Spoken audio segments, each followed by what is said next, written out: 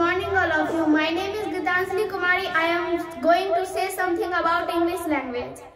English is an international language not because it is read and spoken by the largest number of people but it also because it is read and spoken in the largest number of countries. No doubt English is an important language today for everyone.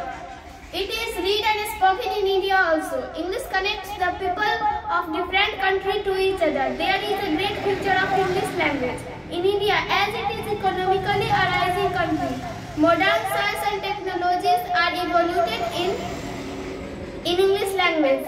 And a person who knows English language can use such high-tech world's app and system.